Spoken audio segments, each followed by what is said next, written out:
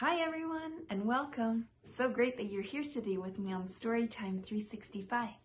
My name is Barbara and today I have a holiday story called Home for Christmas. This is a book that's been written and illustrated by Jan Brett. And what I especially love about this book are not only Jan's beautiful illustrations, but also the lesson that Rollo learns by the end of this book. Be sure to stick around to find out what happens.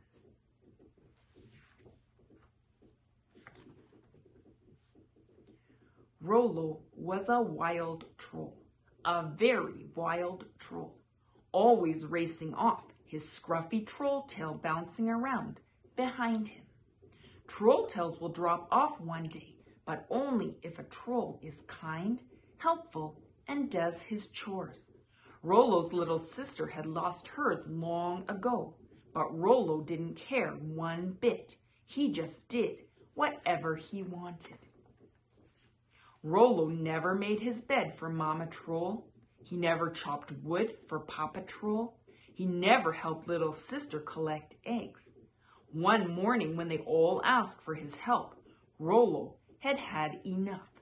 No, no, no, he whooped, and he grabbed his rucksack leapt over their heads and ran toward the mountains. Mama Troll looked at Papa Troll and shook her head sadly. The chances of Rollo losing his tail are mighty slim, she said. Rollo walked along, getting hungry and tired. Where would he spend the night? He spied an owl's nest up in the tree.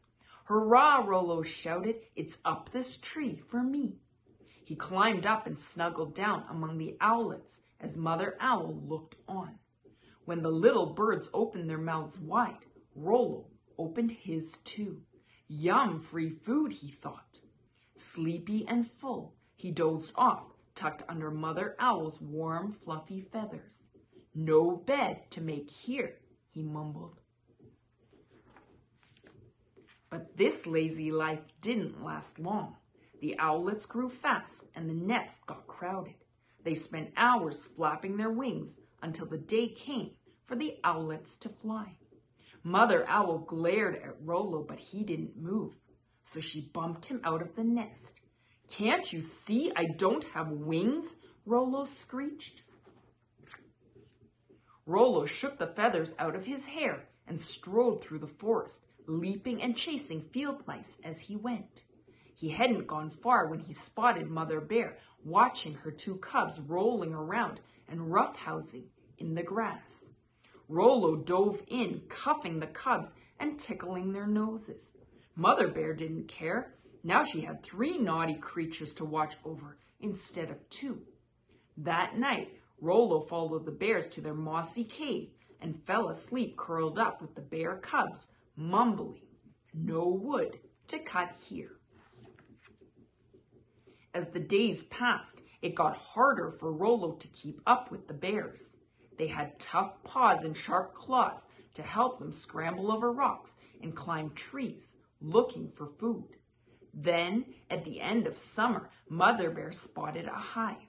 She opened it up with a big swipe of her paw, and delicious honey gushed out. It had been a long time since Rollo had tasted anything so sweet.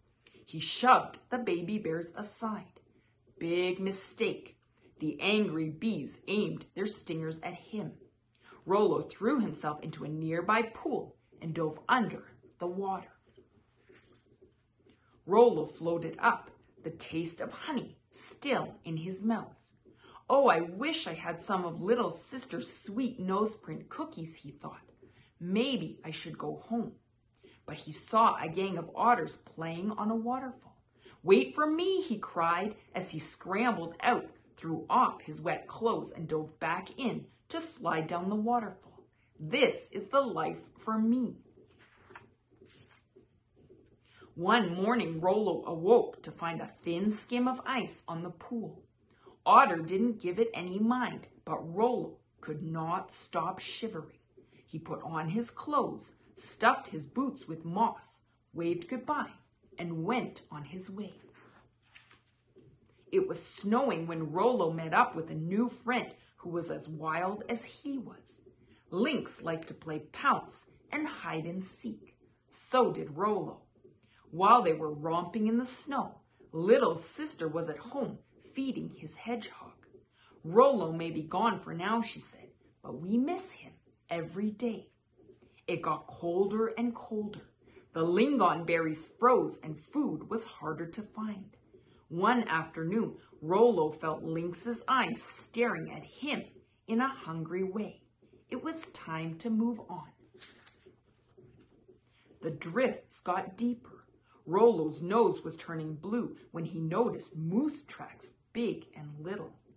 He followed them up the mountain to a meadow where he saw Father Moose, Mother Moose, and their cat standing in the snow. Hi ho, he called and pranced over to them. Rollo made friends right away. He found berries and lichen under the snow where Father Moose had scraped away the ice with his hooves. He ate and ate while the moose calf drank some warm milk from Mother Moose. Rollo spent the night with the moose family. The next morning, he was so happy to be with them that he jumped up, expecting to get a big hug from Mother Moose, just the way his mother hugged him at home.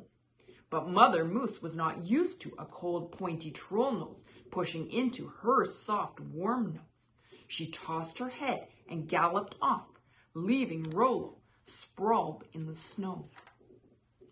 That night, Rollo was riding along on Father Moose's antlers when the antlers began to sway. Oh no, Rollo shouted, holding on tight. Winter is when moose shed their antlers, and he found himself tumbling down, landing in a snowdrift. He was brushing snow out of his eyes when he smelled the smoke from a wood fire. That's coming from my house. He imagined the warm fire inside, the good food, and his soft bed. Most of all, he remembered Mama and Papa's big hugs and little sister laughing at his jokes. He began to sniffle and cry.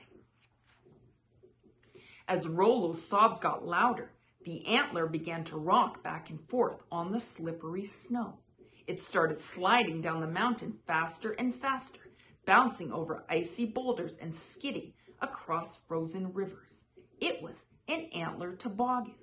Rollo spotted his little house down in the valley, and his sobs turned to whoops of joy. Rollo's family was on their way home with their Christmas tree when they heard whoops echoing down the mountain. They knew in an instant that Rollo had come home. They rushed to meet him as fast as they could. On Christmas Eve, the troll family gathered to light the holiday candles. Mama, Papa, and little sister looked around proudly at the beds Rollo had made, the wood he had chopped, and the cookies little sister had baked with the eggs he had gathered. Papa Troll grinned as Rollo leaned forward to light a candle. Have you lost something, Rollo? he asked. Rollo just smiled. I'm home for Christmas, he caroled. For the best Christmas ever, little sister sang. The cat just purred. He had a new toy. After the feast, the troll family sat by the fire, home for Christmas, all together, singing and telling stories far into the night. Thank you for joining me for today's story. If you enjoyed it and would like your own copy, please check below in the description for the link. Please remember to like and subscribe, and I hope you'll come back tomorrow for another story. See you then.